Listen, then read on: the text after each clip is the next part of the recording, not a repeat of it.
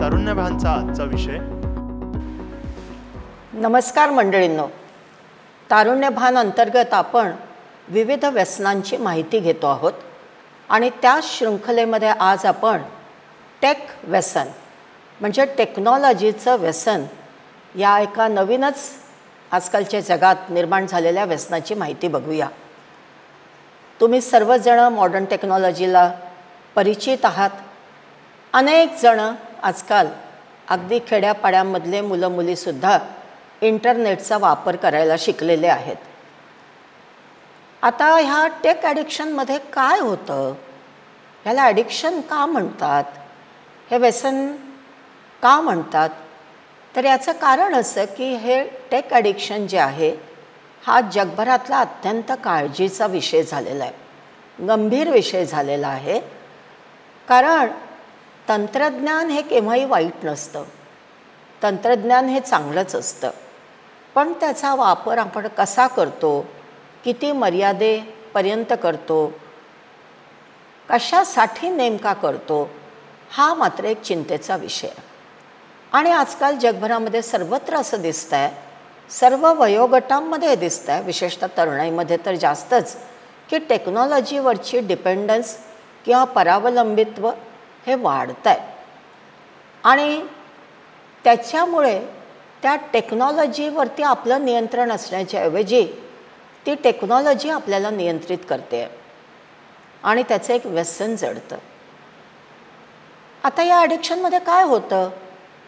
तर कॉम्प्युटर आहे मोबाईल आहे इंटरनेट आहे यांचा जर आपण अतिवापर केला तर आपल्या रक्तामध्ये डोपामाइन नावाचं एक केमिकल तयार होतं. तो एक स्त्राव असतो. आणि ह्या रसायनाचा वापर कसा होतो? हे रसायन जर आपल्या रक्तामध्ये श्रवलं तर कुठल्याही गोष्टीची सवय लावण्यासाठी त्याचं काम असतं डोपामाइनचं. डोपामाइन हे आपल्याला तीस तीस तीस तीस गोष्ट वारंवार वापरण्यासाठी उद्युक्त करत असतं. आणि वारंवार त्याचा वापर वाढला की ह्या रसायनाचा स्त्रावही आपल्या शरीरामध्ये वाढतो. आणि मग ती वस्तू तो पदार्थ माणसाच्या नियंत्रणातून जातो. ड्रग्स घेणारे लोक दारू घेणारे लोक यांच्यामध्ये सुद्धा असंच होतं. त्यांच्या रक्तामध्ये डोपामाईनचं प्रमाण वाढतं आणि मग त्या डोपामाईनमुळे त्या सबस्टन्सवरती त्यांची डिपेंडन्सी वाढत जाते. टेक ॲडिक्शनच्या बाबतीत नेमकं हेच घडतं आहे आणि म्हणून टेक ॲडिक्शन हे एक व्यसन म्हणून त्याला बघण्यात येतं. मी जसं आत्ता म्हटलं की हे टेक्नॉलॉजी वापरताना आपला मेंदू विविध प्रकारे क्रिएटिव्हली विचार करू शकतो.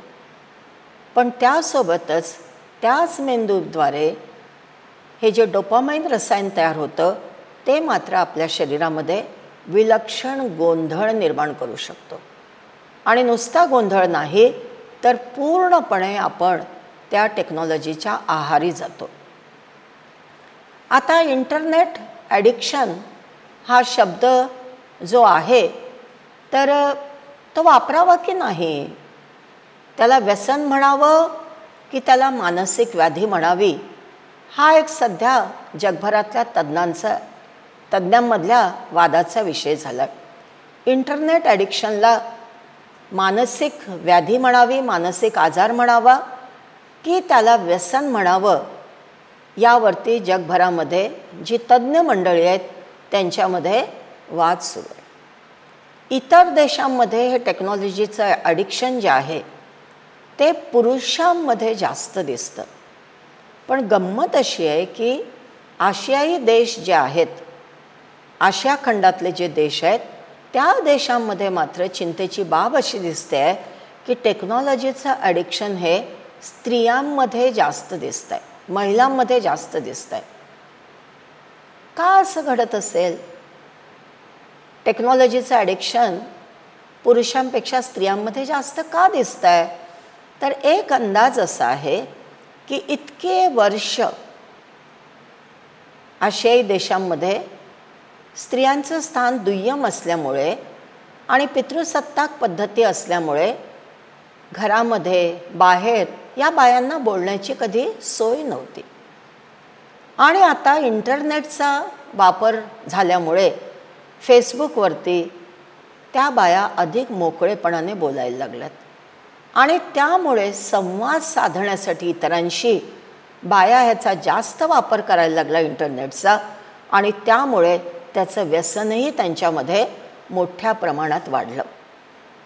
आता हे इंटरनेट ॲडिक्शन हा शब्द जो आहे तो सर्वप्रथम मानसोपचार तज्ज्ञ इव्हॅन गोल्डबर्ग यांनी हा शब्द वापरला होता. इंटरनेटचे अनेक फायदे आहेत पण प्रत्यक्षात काही जणं त्याच्या इतक्या प्रेमात पडतात इतक्या प्रेमात पडतात की त्याचं व्यसनामध्ये कधी रूपांतर होतं हे त्यांना समजतच नाही. आज इंटरनेट ॲडिक्शनसोबत सेलफोनचं ॲडिक्शन पण मोठ्या प्रमाणात वाढतं आहे विशेषतः आजकाल स्मार्टफोन्स आलेले आहेत. आणि काळजीचा विषय असा आहे की ह्या स्मार्टफोनचं व्यसन मोठ्या माणसांप्रमाणेच लहान लहान मुलांमध्ये त्याचं व्यसन वाढतं आहे शाळकरी मुलांमध्ये त्याहीपेक्षा लहान मुलांमध्ये याचं व्यसन वाढतं आहे ही नवीन पिढी अत्यंत हुशार आहे. घरामधले इतर लोक टेक्नॉलॉजीचा वापर करताना इंटरनेट किंवा स्मार्टफोनचा वापर करताना ते बघत असतात. कधीकधी कौतुकाने पालकही त्यांच्या हातात ते देत असतात. आणि मग ती मुलं त्याच्या केव्हा अधीन होतात हे पालकांना समजत पण नाही. आता ह्या आजाराला इंटरनेट ॲडिक्शन डिसऑर्डर किंवा सायबर ॲडिक्शन डिसऑर्डर असं म्हणतात. आणि सायबर ॲडिक्शन डिसऑर्डर हा शब्द किंवा इंटरनेट ॲडिक्शन डिसऑर्डर हा शब्द अमेरिकन सायकॅट्रिक असोसिएशन जे आहे त्यांनी सुरुवातीला हा शब्द वापरायला सुरुवात केली. आणि आता जगभर हा शब्द वापरला जातो. आणि सायबर ॲडिक्शन जे आहे किंवा इंटरनेट ॲडिक्शन जे आहे त्याला वर्तनात्मक व्यसन म्हणतात. म्हणजे तुमचं वर्तन बदलत जातं. त्या इंटरनेटचा तुम्ही सतत सतत सतत वापर करत जाता आणि त्याच्यासोबत तुमचं जे बिहेवियर पॅटर्न असतं शरीराचं नॉर्मली तुम्ही एक व्यक्ती म्हणून जे वाव वावरत असता घरामध्ये बाहेर तर त्याच्यामध्ये प्रचंड बदल होत असतात आणि म्हणून याला वर्तनात्मक व्यसन असं म्हणतात. त्याचे दृश्य परिणाम दिसायला थोडा काळ लागतो. ताबडतोब दिसत नाही. सुरुवातीला कळतही नाही पण काही दिवसांनी मात्र ती व्यक्ती इंटरनेट वापरणारी व्यक्ती पूर्णपणे त्या इंटरनेटच्या आहारी जाते. आणि त्या व्यसनामुळे दोन्ही आघात होतात त्या व्यक्तीच्या जीवनावर. शारीरिक आणि मानसिक. बौद्धिक सर्वच प्रकारचे आधार आ आजार होतात. आणि चौदा ते बावीस वर्षाच्या वयोगटाच्या मुलांमध्ये ही समस्या जास्त बिकट दिसते. सर्वच देशांमध्ये ही समस्या जास्त बिकट दिसते. आता हे जे इंटरनेट ॲडिक्शन आहे किंवा स्मार्टफोन जे वापरतात तर त्या व्यसनाचे प्रकार काय आहेत? तुम्ही सर्वच परिचित आहात. त्याच्यामध्ये गेम्स असतात त्याच्यामध्ये वेगवेगळे ॲप्स तुम्हाला टाकता येतात. बरीच प्रमाणातली माहिती मिळू शकते. कौतुक क्लब तुमचे असू शकतात. त्याच्यामध्ये पुष्कळ पोर्नोग्राफिक लिटरेचर तुम्ही बघू शकता. तर इंटरनेट किंवा स्मार्टफोनच्या ॲडिक्शनचे विविध प्रकार आहेत. एक आहे गेम ॲडिक्शन. दुसरं आहे ॲप ॲडिक्शन. तिसरं आहे इन्फॉर्मेशन ॲडिक्शन म्हणजे अधिक अधिक अधिक अधिक माहिती गोळा करत जायची. कशासाठी? माहिती नाही. नंतर सायबर रिलेशन ॲडिक्शन म्हणजे फेसबुकवरती आपली माहिती टाकायची आणि सतत सतत लोकांकडनं लाईक्स मिळवण्याची एक वृत्ती तयार होते. आणि अगदी हट्टी दुराग्रही ती वृत्ती तयार होते आणि ते व्यसनच जडतं माणसाला. की सर्वांनी माझं कौतुक करावं सर्वांनी माझं कौतुक करावं. तर तेही ॲडिक्शनच आहे. आणि सायबर सेक्शुअल ॲडिक्शन लैंगिक त्याच्यामधून ज्या काही जी काही माहिती मिळते फिल्म्स निघतात माहिती विविध प्रकारची चित्ररूपामध्ये माहिती असते. पोर्नोग्राफिक लिटरेचर त्याच्यामध्ये असतं. किंवा चॅटिंग करतात सेक्शुअल चॅटिंग करतात. फ्लर्टिंग करतात त्याच्यावरती ऑनलाईन फ्लर्टिंग म्हणतात ह्याला. तर अशा पद्धतीच्या अनेक प्रकारच्या व्यसनांना तो माणूस आहारी जातो. आता आपण कसं ओळखणार की कोणा व्यक्तीला सायबर ॲडिक्शन किंवा इंटरनेट ॲडिक्शन डिसऑर्डर आहे? हे व्यसन आहे त्या व्यक्तीला. कारण इतका वापर या इंटरनेटचा होतो. किंवा स्मार्टफोनचा होतो त्याला व्यसन कधी म्हणायचं? त्याची काय लक्षणं असतात? तर थोडंसं आपण बघूया ते. याचे व्यसने स्वतःपासून त्यांचा जो स्मार्टफोन असतो तो एक सेकंदही दूर होऊ देत नाही. एक सेकंदही दूर होऊ देत नाही. पापणीही न हलवता अखंडपणे इंटरनेटवरती बसून असतात बघत असतात. अख्ख्या जगाची समस्या झालेली आहे. एकच उद्योग ते म्हणजे सतत सतत स्क्रीनमध्ये पाहणं. आणि ते स्क्रीन जणू काही त्यांचं विश्व बनतं त्यांचं जग बनतं त्यांचं आयुष्य बनतं. इतर माणसं घरातले कुटुंबीय शेजारपाजारी मित्रमैत्रिणी सर्वांना विसरून फक्त ती व्यक्ती आणि ते स्क्रीन किंवा ती व्यक्ती आणि तो स्मार्टफोन एवढंच त्यांचं आयुष्य राहतं. आणि मग त्याचे दुष्परिणाम शरीरावरती व्हायला लागतात. आणि मी जसं आधी म्हटलं की त्याचे मानसिक आणि भावनिक आणि शारीरिक बौद्धिक सारेच दुष्परिणाम दिसून येतात. ही माणसं वरून चांगली दिसतात. वरून तुम्हाला वाटेल वा वा खूप छान आहेत. टेक्नॉलॉजी यांना खूप छान समजते पण ती माणसं त्यांचं जे मन असतं शरीर असतं ते मात्र त्या टेक्नॉलॉजीचं गुलाम झालेलं असतं. आणि गुलाम झाल्यामुळे ती माणसं मनातून हरवलेली असतात शरीराने दुबळी असतात कारण सतत स्क्रीनसमोर बसलेली असतात दुसरं काही उद्योग करत नाहीत.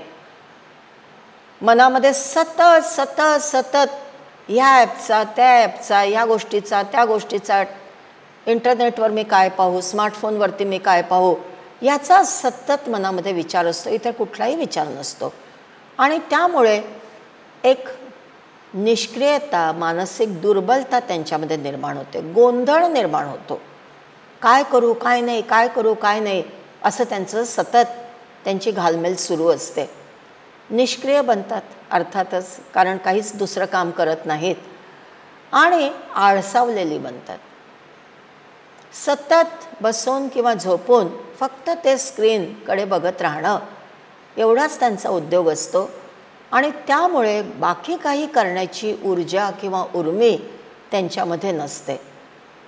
आणि मग अशी जी माणसं असतात ती आपलं अंग झटकून पटापट इतर कामं करणं आपली नियमित कामं करणं ही कामं करण्याचं टाळतात. त्याचे अजून काय दुष्परिणाम होतात? कार्यक्षमता कमी होते. कसलंही श्रम त्या लोकांना झेपत नाही. खाण्याकडे दुर्लक्ष होतं कारण सतत चोवीस तास त्या इंटरनेटमध्येच लक्ष. खाणं पिणं सारं विसरून जातात. भूक तहान विसरून जातात. आणि मग खाण्याकडे दुर्लक्ष झालं तर दोन गोष्टी होऊ शकतात. एक वजन अतिशय कमी होतं किंवा काही जण काय करतात अगदी पॅसिवली त्या इंटरनेटच्या समोर बसायचं आणि मग सतत काहीतरी खात खात खात ते इंटरनेट बघत जायचं. किंवा काहीतरी कोल्ड ड्रिंक किंवा दुसरं काही ड्रिंक घेत जायचं आणि इंटरनेट बघायचं.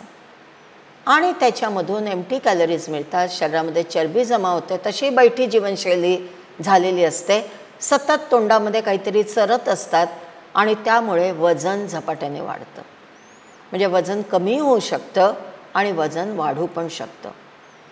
मैदानी खेळ खेळण्याची त्यांची सवयच जाते.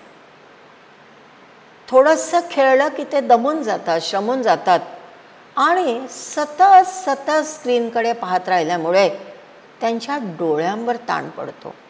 डोळे कमजोर होतात चष्मा लागतो. चष्म्याचा नंबर सतत वाढत असतो. डोळे थकतात पेंगुळल्यासारखे होतात. आणि त्यामुळे मग इतर अभ्यास करणं वगैरे त्यांना अजिबात जमत नाही. आणि जी माणसं अशी इंटरनेटला ॲडिक्श होतात ते सतत स्क्रीनशीच त्यांचा संबंध आहे. इतर जगाशी इतर माणसांशी प्रत्यक्ष संवाद त्यांचा संपतो. सदैव ते एका आभासी जगामध्येच असतात. समोरच्याच्या नजरेला नजर देऊन बोलणं त्यांना जमत नाही ते घाबरतात. जमत नाही त्यांना. कारण ती सवयच उरलेली नसते की माणसांशी बोलणं. थेट व्यक्त होणं त्यांना समजतच नाही. आपल्या मनातल्या भावना आपल्या मनातले विचार व्यक्त करणं हे जमतच नाही. समजतच नाही कारण बुद्धी कामच करत नाही. आणि मग अशी माणसं साहजिकच त्यांना इतर जणही टाळायला लागतात. कारण यांच्याशी काही संवाद करता येत नाही यांच्याशी काही खेळता येत नाही यांच्याशी काही बोलता येत नाही कुठलं काम सोबत करता येत नाही. तर मग ही माणसं जी असतात ॲडिक्ट बनलेली त्यांना इतर लोक टाळतात. आणि म्हणून मग ही ॲडिक्ट माणसं मग एकल कोंडी बनतात. आणि मग जेव्हा एकलकोंडी बनतात तेव्हा त्यांना प्रचंड नैराश्य येतं. डिप्रेशन आपण ज्याला म्हणतो इंग्लिशमध्ये उदासीनता त्यांना येते. त्यांचे मित्र तुटतात. त्यांच्या घरामध्ये कटुता निर्माण होते. लग्न झालं असेल तर लग्न संबंधांमध्ये पती पत्नीच्या नात्यामध्ये दुरावा निर्माण होतो. कुटुंबामध्ये संवाद होत नाही. कुटुंबाशी नातं बिघडतं. आणि अगदी एकटे असे ते राहतात. जणू काही त्यांचा अख्खा संसार त्या स्क्रीनसोबत आहे. त्या इंटरनेटसोबत किंवा त्या स्मार्टफोनसोबतच त्यांचं जग निगडीत राहतं. तेवढेच तेवढ्याच चौकटीत ते वावरत असतात. आणि घरदार कुटुंब मित्र सर्वांपासून ते दुरावतात. आणि जितकं जास्त दुरावतात तितकं नैराश्य वाढतं. तितकं मग अजून अजून अजून एकटेपणा खायला उठतं म्हणून अजून जास्त स्क्रीनचे गुलाम बनत जातात. अजून काय दुष्परिणाम होतात? हातामध्ये सतत मोबाईल फोन असतो किंवा समोर स्क्रीन असतं आणि मग मेंदूमध्ये दुसरा काही विचारच नसतो. फक्त वेगवेगळ्या साईट्सचा विचार असतो. ही साईट ओपन करू का ती साईट ओपन करू का? दुसरा विचारच नसतो इतर काही विचारच करू शकत नाही. म्हणजे बघा आपल्याला माणसांना इतका सुपीक मेंदू निसर्गाकडून मिळालेला आहे. किती प्रकारचे विचार आपण करू शकतो? पण या माणसांची विचारशक्तीच कुंठित होते मर्यादित होते अतिशय नॅरो होते. आणि स्क्रीनशिवाय वेगवेगळ्या साईटशिवाय त्यांना दुसरे काही विचारच सुचत नाहीत. स्मरणशक्ती कमी होते. कलात्मक सृजनशीलता ती कमी होऊन जाते. अभ्यास जर केलेला असेल तर अभ्यासच लक्षात राहत नाही. कारण अभ्यास कसा लक्षात राहणार? कारण डोक्यामध्ये त्या अभ्यासाचा विषय नसतोच. वाचलेला आठवतच नाही. सतत ते स्क्रीनच आठवत असतं. किंवा तो फोनच आठवत असतो आणि त्याच्यावरचे वेगवेगळे साईट्स आठवत असतात. आणि मग ही मुलं शाळकरी किंवा कॉलेज गोईंग मुलं जर असतील तर वर्गामध्ये जेव्हा त्यांना शिकवत असतात शिक्षक त्यांना काहीच समजत नाही. शिक्षक तिथे बोलतच असतात यांच्या मनात वेगळाच विचार असतो. ते एखादं पुस्तक वाचतात अभ्यासाचं पुस्तक वाचतात पण डोक्यामध्ये दुसरेच इंटरनेट किंवा स्मार्टफोनचा विचार सुरू असतो. त्यामुळे काहीही त्यांना समजत नाही. आणि त्यामुळे मग वारंवार परीक्षेमध्ये अपयश येतं. नापास होतात. आणि त्यामुळे मग शाळा कॉलेज अनेक मुलामुलींना त्यामुळे सोडावं लागतं. आणि म्हणून माझ्या मित्रमैत्रिणींना लक्षात घ्या की इंटरनेट आहे स्मार्टफोन आहे हे शोध अतिशय चांगले आहेत. जर त्याचा आपण योग्य वापर केला आणि त्याच्यावरती जर आपला ताबा राहिला तर. मी म्हणेन तेव्हाच मी इंटरनेट वापरेन. गरज असेल तेव्हाच मी इंटरनेट वापरेन. चांगल्या कामासाठीच मी इंटरनेट वापरेन. पण जर मी त्याचा अतिवापर करत गेले किंवा गेलो तर मग ते इंटरनेट माझ्या शरीराचा मनाचा मेंदूचा माझ्या हृदयाचा पूर्ण कब्जा करून घेतं. आणि मला एक टेक्निक टेक्नॉलॉजिकल जसे रोबोट्स असतात तसा तो माणूस बनत जातो. भेटूया तारुण्य भानच्या पुढच्या भागात एका नवीन विषयासोबत.